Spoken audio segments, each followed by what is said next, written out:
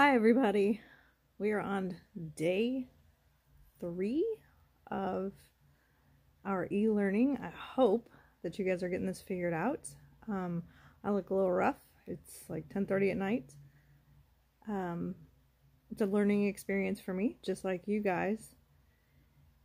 And I hope you've been enjoying it. Uh, I've talked to a couple of you. I've seen a couple of people, which warms my heart because I do miss you. Um, things are a little, a little crazy in everybody's lives right now, but they're good.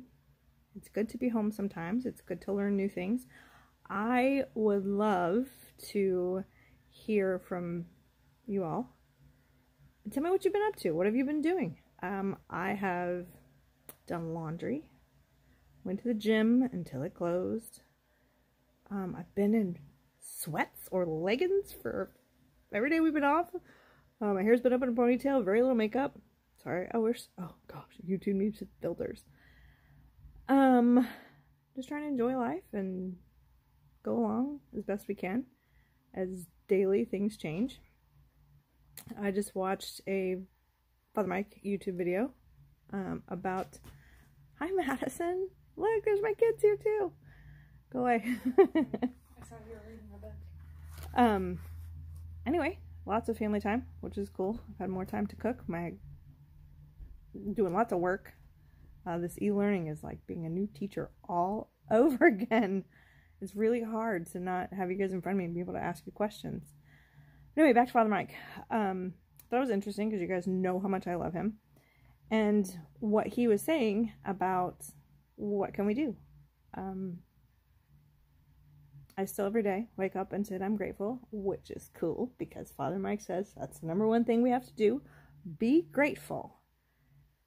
And number one thing is to be grateful that, that we're not the government having to make decisions um, that can hurt businesses, hurt the economy, um, hurt people, and that we are not the bishops for Catholics um, who've had to make the tough decision to close masses in order to protect um, those who are more vulnerable. So he said, be very grateful for that. Second thing, he says, do what we can um, in terms of reaching out to people, um, saying our prayers, that sort of thing. And if we know that people need help, then maybe, you know, if we can visit them or speak to them. Um, how do we use our influence?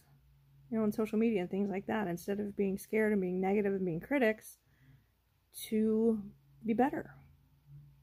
Just be more Christ like, be loving, be kind to people, and to pray. Oh my gosh, pray, pray, pray. Which I've been having you guys do some daily scripture every single day, and I expect that every single day. As Catholics, uh, we don't have Mass right now. Um, that's a little tough because as Catholics, the Eucharist is, is central to who we are and what we believe. And he gives some advice on that. He says, if your church doors aren't closed, just go spend some time in the church praying um, in front of the Blessed Sacrament. He even suggested if the churches are closed, go sit in the parking lot. He said the church is a great big tabernacle. Uh, and we can also do this thing called um, the Liturgy of the Hours that priests are required to pray, and you can find it online. That's if you want to. All in all, just be be the best people God created you to be. And I miss you, and I can't wait to see your faces again. I cannot wait to hear what you've been up to. I want to know if you've learned something new. Um, just tell me the good stuff. Let's just keep in touch. Have a great day today. Get your work done.